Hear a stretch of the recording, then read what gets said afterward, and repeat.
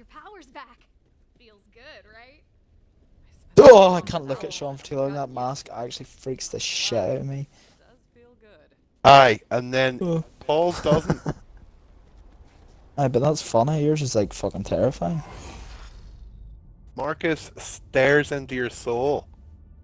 Yeah, but yours swallows it.